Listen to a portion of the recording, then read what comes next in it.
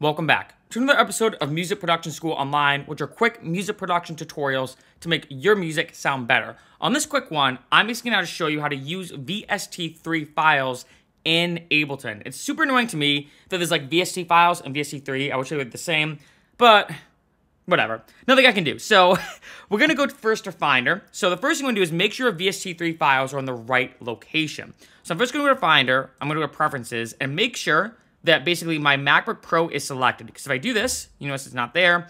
By default, for some reason, it's not appeared on your Finder, so you do have to kind of select it. I am then going to go to my MacBook Pro, Macintosh HD, Library, Audio, Plugins. I'm going to make this bigger, I go to VST3. These are all my files. I'm just going to drag and drop in the VST3 that I want. So in this case, it's Zenology. So now I know it's in the right location. So now, time to go to Ableton. So I'm going to load it up. Now, one thing I want to say is that I just basically put that VST3 file in Ableton. If basically you haven't done that yet, and let's say you have Ableton open, and you just moved it, you do want to rescan. I'll show you how to do that. So now that's all loaded up.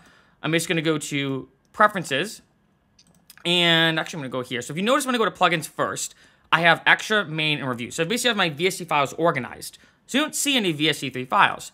So I want to go to Preferences, and if you notice, then I have used VST3 plugin system folders. If you're using a custom folder, you can kind of select it. I just think it's easier. Keep everything in the default locations on your computer. I think it just makes organization a lot easier. So I'm just going to select on.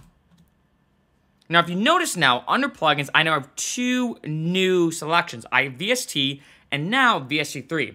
Now, like I was saying basically when I first loaded up Ableton, if let's say you already did this, and let's say you already kind of loaded up the VST basically plugin folder and you just moved a new one in, it might not appear under here. So you basically have to rescan. All rescanning does is saying, hey, I happened to put a new plugin in the folder while Ableton was open, so rescan so you can find it. So then, as you can notice, I have my VSTs here, and then obviously, the main point of this is now I have VST3 here. So now, I can use any one of these, so obviously, you know, Zenology was the one basically I put in, but this is easy how now you can use any VST3 file in Ableton.